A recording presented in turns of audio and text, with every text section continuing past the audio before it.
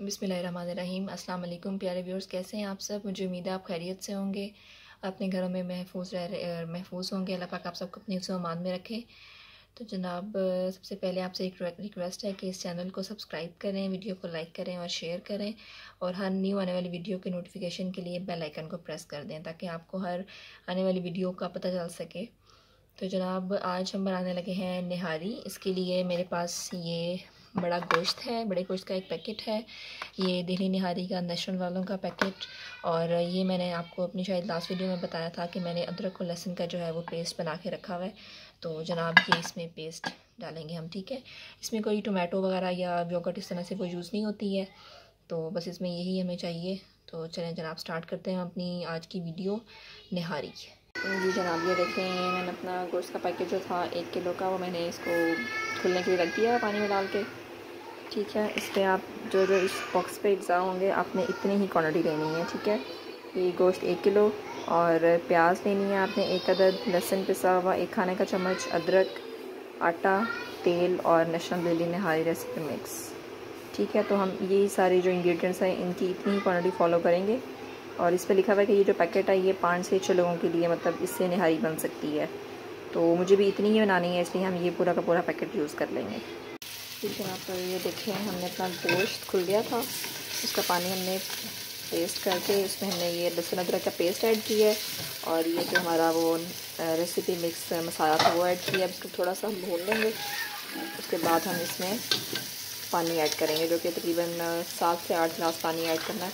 और ये हांडी में पकाने की एक ख़ास वजह ये होती है, कोई भी चीज़ के उसमें बड़ा अच्छा सा वो ट्रेडिशनल जो है वो टेस्ट आता है, देसी टेस्ट वैसे तो हांडी का होता है कि आप इसको लकड़ी वाली चूल्ही चूल्हे पे रख के बनाएँ तो वो और भी ज़्यादा अच्छा टेस्ट आता है। लेकिन फिर भी चलें, अगर हांडी में अगर आप बना रहे हैं और इस गैस वाले चूल्हे पे भी बना रहे हैं तो भी मज़े का टेस्ट आ जाता है।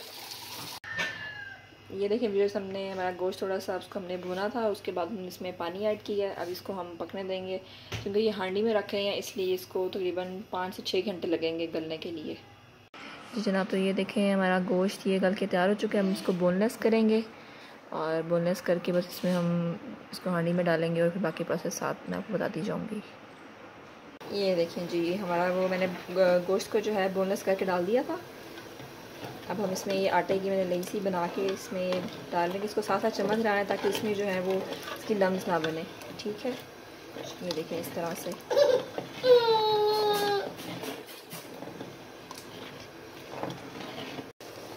जी, ये देखिए हमारी ये नहारी इस तरह से थिक हो गई है और आपने ये आटा उसमें इतना डालना है मतलब आपकी क्वांटिटी आपने इसको अंदाजे से डालनी है आटे की पानी में कि जिसमें ये इस तरह से थिक हो जाए।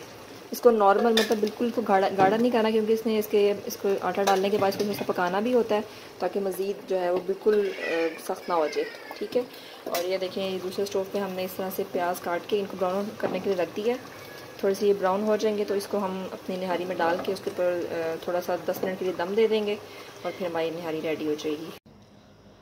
जी तो व्यूअर्स ये देखिए, हमारी निहारी पक के तैयार हो चुकी है और इसको मैंने बॉल भी निकाला हुआ है, साथ मैंने थोड़ा सा सैलड बना लिया था और साथ मेरे पास ये खमीरी रोटी थी। ठीक है, वैसे वैसे तो इस तरह की ये निहारी या हलीम होगी जो इस तरह की चीज़ें सिर्फ़ नान या खमीरी रोटी के साथ ही अच्छी लगती है। तो मैंने सोचा कि इसको आज फिर हम खमीर रोटी के साथ ही खाते हैं। ठीक है जनाब, उम्मीद है कि आपको मेरी रेसिपी अच्छी लगेगी। आप इसको ट्राई करेंगे और फिर वीडियो को लाइक करें। अपना ख्याल रखिएगा। फ़ी मान